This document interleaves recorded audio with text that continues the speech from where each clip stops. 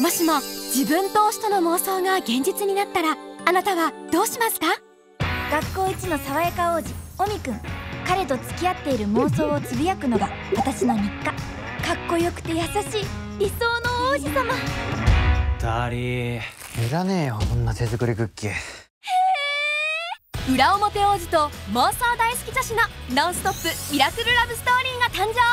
その妄想叶えてあげてもいいよ。妄想が現実に恋煩いのエリー。俺に愛される覚悟ある。原作は累計発行部数210万部突破の大人気少女コミック「恋煩いのエリー」ダブル主演を務めるのは2023年ネクストブレイクランキング男性タレント第1位に選ばれた宮瀬隆美と原菜乃華さんです。よろしくお願いします。確かな演技力で今最も注目の若手女優原菜乃華そんなフレッシュなお二人に映画の魅力を伺います。すごく嬉しかったです。ちょっと10代のうちにこういうキラキラ系の学園ものに出たいなっていう思いが強くあったのですごく嬉しかったです。恋愛映画のヒロインをやってみたいっていうのが一つの目標でもあったのでそれがすごく叶って嬉しかったです。宮瀬さんが演じるのは学校一の爽やか王子だが実は口の悪い裏表男子のオミくん尾身くん僕と似てるところもありながらちょっとやっぱそういうねあのー学校ではこういういい顔してる。でその時はなんかちょっと悪い感じの毒舌キャラじゃないですか。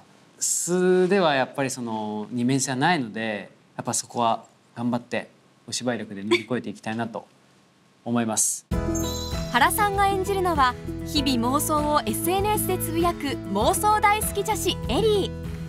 好きなことになるとガーっていう風に入り込めるようなその熱量だったりはすごく共通する部分があるのかなっていう風に同じところがあるかもしれないなっていう風に思いましたね。そして今作で注目なのが全女性必見のドキドキの胸キュンシそうこういうのはあります、ね、はい。でこっち向いてはい。こうい。うのがあるはい。その妄想叶えてあげてもい。い。よそこで思わず2人が胸キュンしてしまう仕草を聞い。てみました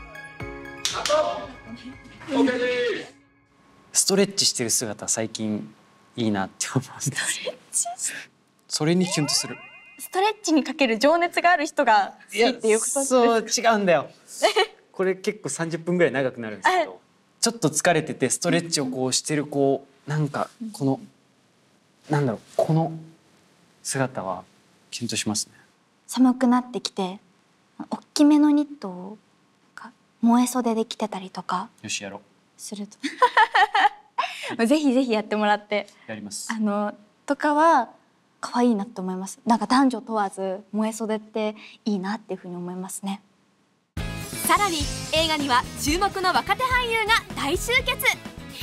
リトル関西のメンバーで国宝級イケメンランキングネクスト部門1位に選ばれた西村拓哉モデル女優として人気急上昇中の白宮瑞穂。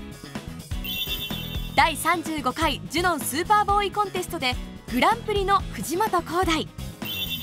さらにジュノンボーイの大先輩で話題作への出演が続く綱啓人が再び宮瀬と共演。そして三木監督作品に数多く出演している小関裕太。今最も旬な若手俳優たちにも注目を。同世代もたくさんいる撮影なのでとにかくなんかこうやるところはちゃんとやってあのふざけるところはちゃんとふざけてなんかそのオンオフっていうのをちゃんと切り替えながら和気あいあいと撮影していきたいなと思います。すごくキュンキュンもできるんですけどたくさん笑えるような作品になってると思うので原作のエリの勢いだったりとか、オミくんのそのギャップだったり可愛さだったりにキュンキュンできると思うのでそういうところを楽しみに見ていただけたらなと思います。妄想が現実に！ドキドキレベル絶賛加速中果たしてオミくんとエリーの恋の行方は？俺に愛される覚悟ある。